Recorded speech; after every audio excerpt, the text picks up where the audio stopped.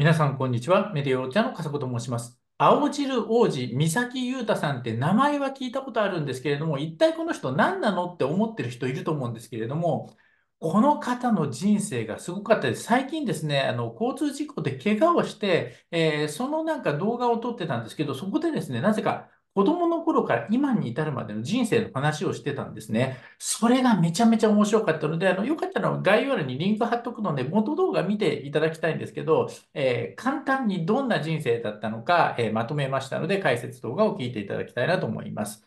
で、えー、親は歯医者だったんだけれども、あんまり家庭関係はよく、家庭関係は良くなく、えー、ま、ぐれたりもして、まあ、そういう家庭環境だったので、いつか金持ちになりたいと。もう自分一人で生活できるようになりたいんだっていう思いはあったそうなんですね。で、これが面白いんですけれども、高校2年生の17歳の時、パチンコに行ったそうなんですよ。もうぐれてますからね。で、なけなしのお金1000円でパチンコに行ったら、なんと15万円当たったというんですね。これ。で、この使い道なんですけれども、なんとパソコンを購入した。ちょうどこの時にたまたま札幌の本屋で、えー、アフィリエイトで月400万円で稼ぐ方法みたいな本を見て、いや、そんなのな、でもこのままじゃ何にもならないよなと思って、その本を買ったそうなんです。で、そんな時にパチンコで、えー、15万当たったということで、パソコン買ってこれやろう、アフィリエイトやろうということで、購入の時からパソコンを買ってアフィリエイトを始めたと。っていうことで、えー、それでですね、なんと、このアフィリエイトをやって、月100万とか稼げるようになった。すごくないですかっていうことですよね。で、えー、2000 2007年、えー、もう18歳の時には会社を設立したということなんですけれども、まあ、役員に裏切られたり、大学生アルバイトにデータを持ち逃げされたりですね、もう人に裏切りまくまくられで、まあ、大変だったということなんです。で、もうあまりにももうちょっとそういうのが続いて、22から23歳の時に鬱になって会社を休眠したそうです。いや、もうちょっと、もう一回も全部、ちょっと従業員全部もう退職、あの退職金払って辞めてもらってっていうことで、えー、一人になったと。で、まあ一人になって、えー、株とか FX とかやったけども、まああんまり稼げなかったっていうそうなんですね。で、そんな時に、まあ、周りの経営者仲間とかは、一攫千金や狙おうぜみたいな雰囲気だったので、自分も、まあ、自分で投資してても、その才能はないと。で、だけどね、な、なんかやっぱ仲間とか社員とか集めちゃうと鬱になっちゃうということで、2億円の貯金のほぼ全てをですね、えー、毎月10%、毎月だったかな、年だったかな、ちょっと忘れましたけど、その10%の利回りのあるすごいファンドがあるみたいなところで、そのファンドに、えー、約1億9000万ぐらいですかね、残り1000万を残して全部注ぎ込んだら、なんと翌月飛んだということで、もう本当皆さんこんな話ばっかりは絶対に知人、知人の紹介でのなんちゃらかんちゃらとか、その利回りがいいとかに絶対投資しちゃダメですよ。普通にネット証券で口座作って上場された商品だけ買いましょうよっていう話なわけです。もう本当にね、まあこんな方でも、まあでも若かったでももったいないですよね。だってめちゃめちゃ稼いで2億稼いだのに、それをまた10%の利回りでって欲張ったがために、まあ、しかも、2億あったら別に普通にまともな上場商品に投資すれば、もういくらでもそれで食っていけたのに翌日飛んじゃったと。でもこれが、まあ、ある種きっかけになって、やばいと。2億貯金あったのにほとんどなくなっちゃったっていうことで、25歳の時にですね、そのスッキリフルーツ青汁というのを開発して、それでやっていったら、瞬く間に成功して、なんと年商130億円、利益42億円のカリスマベンチャー社長ということで、これもっともっと広げていくんだということで、26から27の時にはバンバンテレビに出て自分も宣伝して、青汁王子ですって宣伝して、どんどん売り上げ上げていって、すごい順風満帆な、えー、カリスマベンチャーとして、えー、やっていたんですけれども、そこにですね、国税局が来る2018年28歳と、突然来たらしいんですね。で、1億8000万円の脱税だと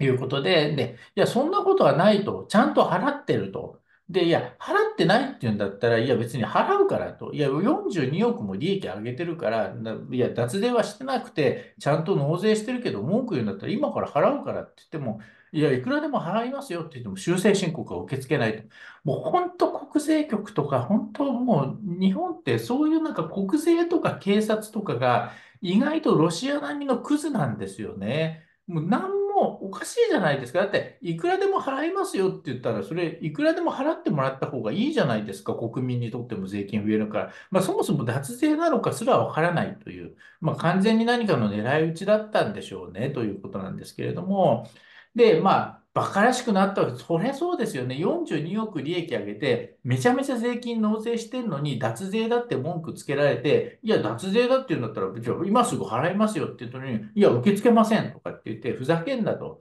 いうことで、そんな時にマルタ共和国に移住しようと。なんとこの時1億円で国籍が取れるということで、でもただ一応国税局にと戦ってるから、いや、こういう国があって、ここに移住していいですか？って言ったら、国籍 OK ですよと言ったので、まあ、移住をしたと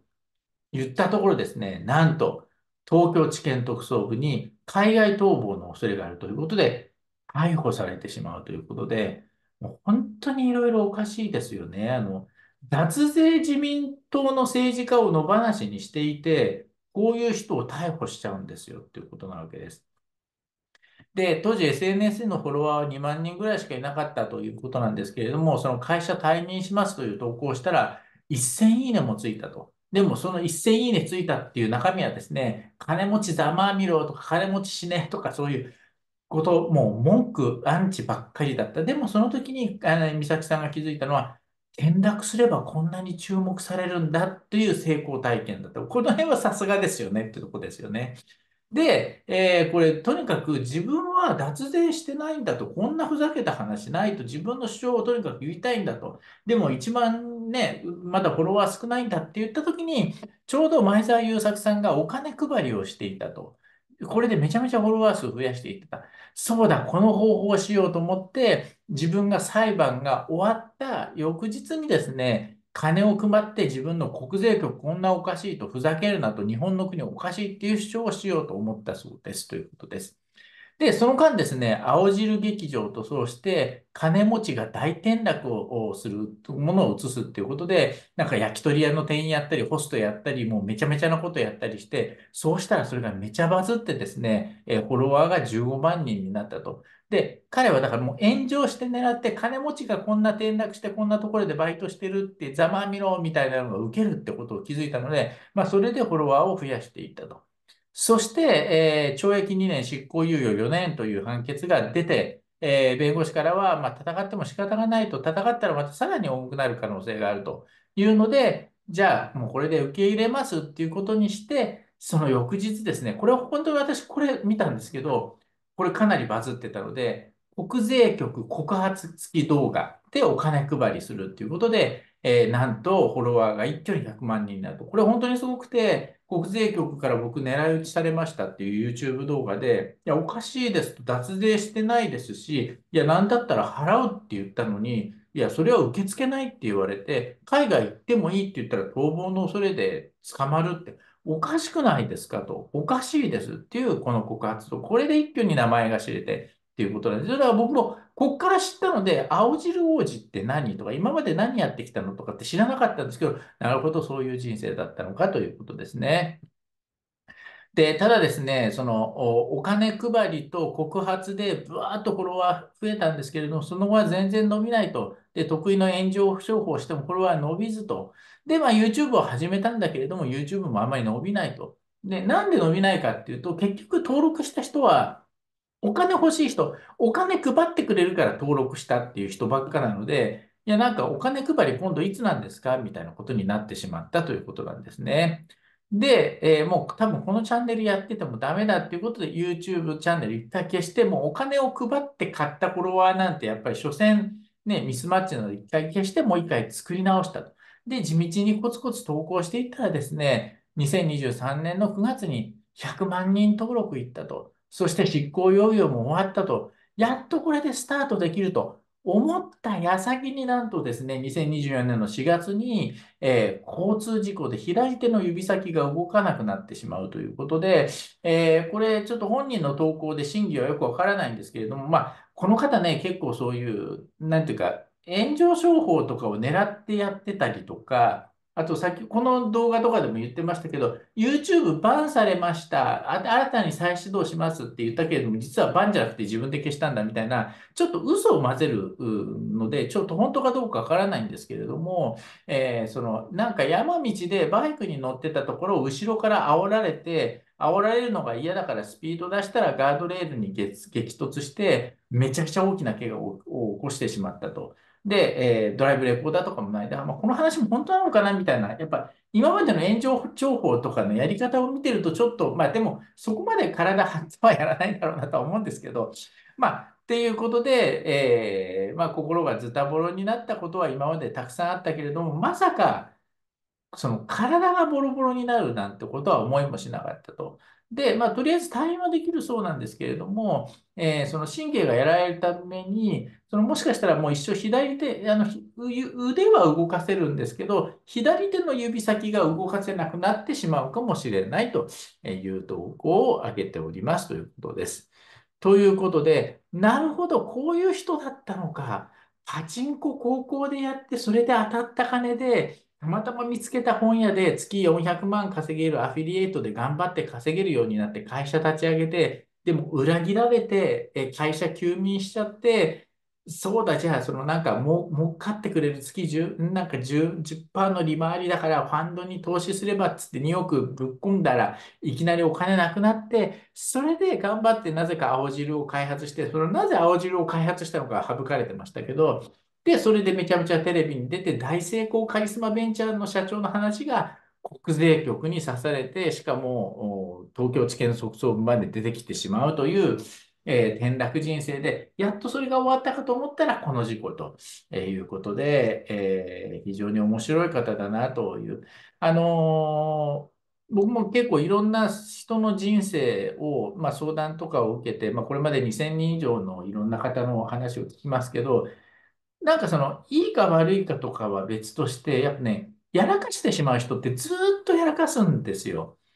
だからその裏切られたっていうのも多分人との距離感が、まあ別にその青汁王子さんを責めるわけじゃないんですけど、多分その家庭環境が悪かったせいだと思うんですけど、やっぱ人との距離感がおかしいと急に信じて金ボーンと渡しちゃって裏切られた。だから裏切られたって信じる、なんでその人信じちゃうのっていうのがまずまずいんですよね。で、そういうことを繰り返してるからずっと終わらないんですよ。で、確かにこの方はお金を稼ぐ才能はあると思うんですけど、まあ結構そういういろいろなジェットコースターみたいなのが起きてしまうと、やっぱり何か、まあその心にあるものっていうのが、やっぱりなんか、なんていうか、まあそのね、家庭環境が悪かったって、そのどういう、どういう悪さなのかをあまり、この、その言ってなかったのはあれですけれども、やっぱその家庭環境が悪いと変な癖がついちゃって、やっぱりなんか、なんていうかね、その、まあ、その言い方はあれですけど、マイナスな出来事をむしろ引き寄せちゃうんですよね。で、それラッキーみたいなところもあって、またこれネタにできるみたいなところもあるので、だからまあ、この方が本当にこのジェットコースターみたいな人生を多分やめる気はないからまた起きるんでしょうけれども、まあ、なんていうか、だか本当にそこが多分、なんていうか、本当に心を入れ替えるような出来事とかに出会わない限りは、結局またこういうことを繰り返してって、でもそれを自分ちょっと美味しいなって思ってるところも多分あるので、まあだから起こしてしまうということもあるんでしょうけれども、まあそれにしても、まあ面白い人生だなということで、青汁王子ね、三崎優太さん。何者なんだっていう人いると思いますけど、そんな方でしたということで、えー、元の動画のリンク貼っておきますので、えー、話を聞きたい方はですね、ぜひ見ていただきたいなと思います。